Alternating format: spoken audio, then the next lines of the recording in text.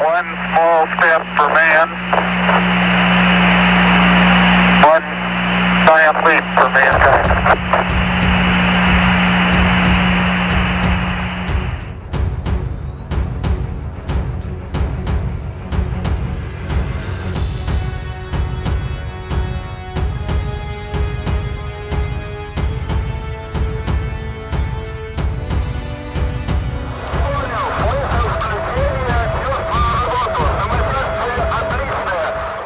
Salve Leandro, saudações e complicações.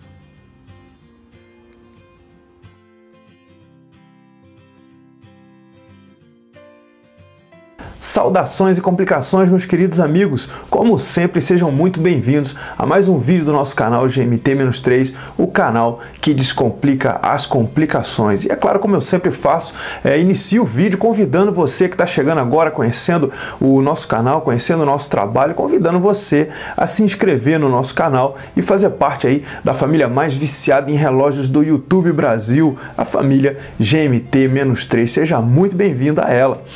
E hoje nós temos mais um vídeo da nossa série Relógios que Mudaram o Mundo. Nessa série você vai conferir todos os relógios que tiveram assim, que em seus lançamentos possuíram algum tipo de relevância, que serviram aí para nortear a indústria dos relógios e fazê-la como a que temos nos dias atuais. Não deixe de conferir essa série muito bacana, você vai conferir vários é, modelos que foram icônicos em suas épocas e o porquê deles terem se tornado é, ícones de suas eras. No vídeo de hoje, nós vamos falar sobre um modelo. No primeiro vídeo, a gente falou sobre aquele que é tido como o primeiro modelo de relógio feminino documentado, né, o Patek Philippe da Condessa Koskovics, da Hungria.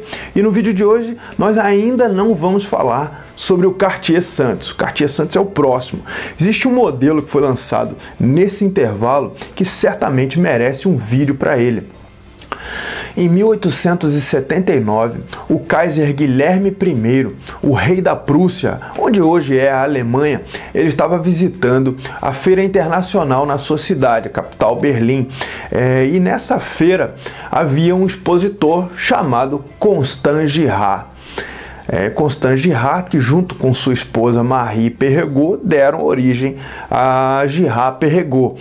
Se você conferir no nosso vídeo aqui falando sobre as origens de algumas marcas de relógio, você vai conferir é, essa história e também a de algumas outras bem bacana aí, vale a pena você dar uma, uma conferida. E Constant Girard estava nessa feira fazendo exposição de seus relógios. O Kaiser Guilherme I conversou com Constant Girard e pediu que ele fizesse um relógio de pulso para os seus oficiais navais da Marinha Alemã. Então Constant Girard topou a ideia e produziu aquele que é considerado o primeiro relógio de pulso construído do zero. Ele foi desenhado com o propósito de ser utilizado no pulso. É esse relógio que você está conferindo aí agora. Esse é o relógio naval de Girard Perregaux. Ele era feito em ouro 14 quilates para que fosse resistente ao sal marinho e ele possuía essa, essa grelha aí bem característica para que tornasse o, re, o relógio mais resistente aí aos rigores da batalha o Kaiser Guilherme I fez uma encomenda inicial de 2 mil unidades para Girard Perregaux desse relógio de pulso naval. Mas esse relógio ele não foi muito bem aceito pelos oficiais. Eles alegavam que aquela grelha é, dificultava a leitura das horas é, e não achavam que o relógio fosse prático. Mas algumas pessoas diziam também que essa era, digamos assim, a alegação oficial, mas alguns achavam que pelo fato ainda do costume de se utilizar relógios de bolso naquela época e os relógios é, mais expostos serem destinados a mulheres, é, eles achavam também que não era muito elegante, digamos assim, a utilização daqueles relógios. Por isso que os oficiais tiveram assim um certo receio de utilizá-lo e nenhuma encomenda mais foi feita para Girard Perregaux. Ficaram somente nesses, nessas duas mil unidades iniciais. Este é um relógio que, mesmo não tendo tido essa aceitação por parte dos oficiais da Marinha Alemã, com certeza ainda assim vale a pena ser registrado a presença dele por aqui no GMT-3. Afinal de contas, eles também faz é, parte dos relógios que mudaram o mundo. É, foi um dos pilares, digamos assim, iniciais da história da relojoaria e com certeza vale a pena ele fazer parte dessa série.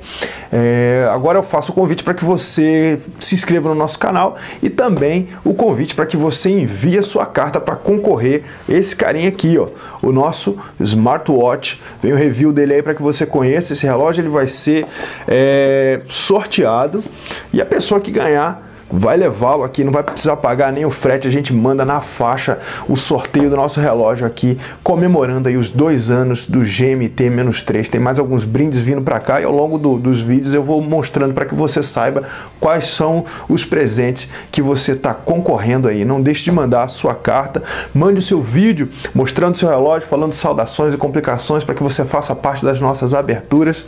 E é isso aí, amigos. É, tá aí o campo de comentários para você comentar sobre o que você achou desse vídeo, o que você achou desse relógio. Enfim, campo aberto aí para você se inscrever também nas nossas mídias sociais, fazer parte das nossas enquetes aí que a gente tem no Instagram de vez em quando e o convite para que você escreva para a gente, mande suas dúvidas e quem sabe ela vira até um vídeo como vários aqui já foram. Certo, meus amigos? Um grande abraço para vocês, que Deus os abençoe abundantemente e a gente se vê no nosso próximo vídeo. GMT-3 é o canal que você sabe, descomplica as complicações. Um grande abraço, pessoal. Valeu!